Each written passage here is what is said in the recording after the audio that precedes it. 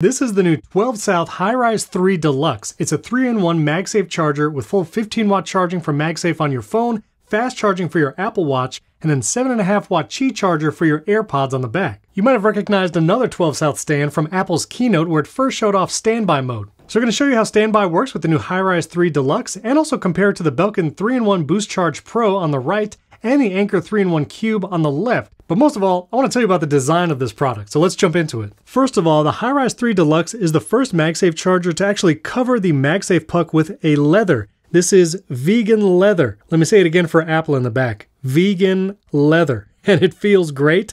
And there's also vegan leather on the base of the charger as well. All of this is vegan leather, not leather vegan leather. A few things I love about the design. The Apple Watch charging puck can either lay flat or come up, which is really helpful if you have a band like the Solo Loop, which wouldn't allow it to lay flat. Spacious room for your AirPods to charge in the back, and the puck that holds your phone is actually tilting, so you can tilt this pretty far up, not exactly a full 90 degrees, not perfectly perpendicular. I know some people were asking how far down does it go. That's how far down it will angle, and then that's how far up. And this pole right here is unmoving, so pretty stationary. Now, ever since the iPhone 12 when MagSafe came out, I've been a Belkin 3-in-1 charger, and this is the Boost Charge Pro with Apple Watch fast charging. I call it the tree charger because, you know, it looks like a tree. But I've loved this thing. You can charge your iPhone here, Apple Watch here, and AirPods down here. But as you can see, while the footprint of the base not be very different, when you have the iPhone charger sticking out on this side, Apple Watch on this side, it takes up just more area on a nightstand.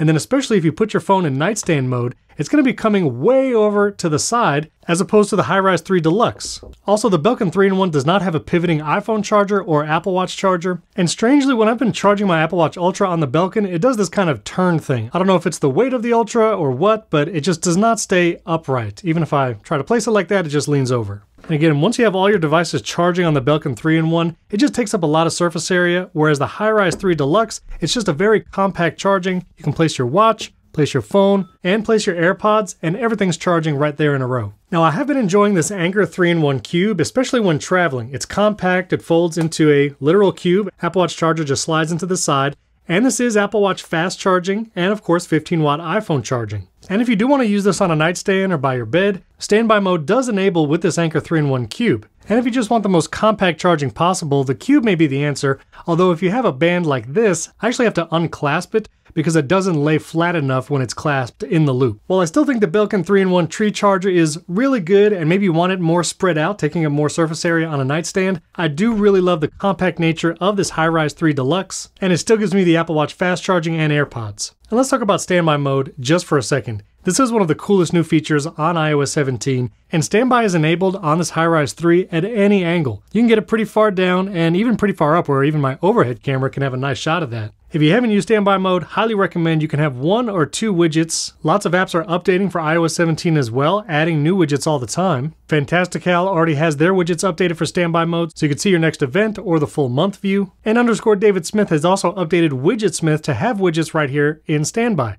You could tap one, choose one of the widgets you've already have set, and you can have your Widgetsmith widgets right here in standby. Now, one of the reasons I was excited for standby mode was smart home controls and HomeKit.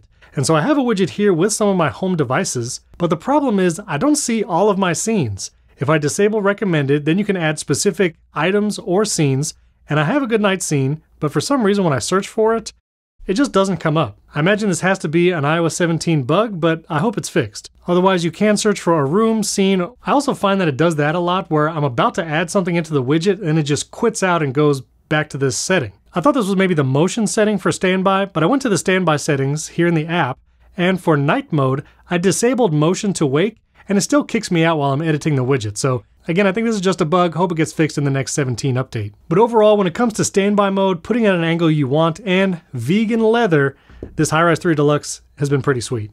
So looking at the different MagSafe chargers, which should you get? Again, the Boost Charge Pro from Belkin has been one of my favorites, the 3-in-1 tree charger as I say, and I still think it's great, but I do like the ability to adjust the angle, especially now that we have standby mode in iOS 17.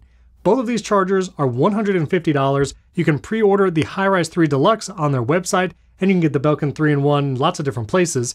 The Belkin does come in white and black, and I do really like the white color. I do kind of wish the Hi-Rise 3 came in white. Their previous stand, which actually showed up in the WWDC keynote, was in white, so maybe they'll release an option later, but for right now, it's black only. But honestly, it looks great, and this tilting vegan leather MagSafe puck is pretty sweet. So I'll be going with this on my nightstand, probably using the tree charger here on the desk. But let me know what you think in the comments. Do you have another favorite 3-in-1 MagSafe charger? Or are you waiting for Qi 2? I did a whole video on Qi 2 that's coming soon, and that's probably why Apple killed the MagSafe Duo and MagSafe battery pack. You can check that video out above or the link in the description. And let me know what has been your favorite iOS 17 feature. I have lots of videos on some hidden iOS 17 features and iPadOS and tvOS features as well. You can check out those videos down in the description. And before you go, you should check out one of these videos over here. I think you'll like it.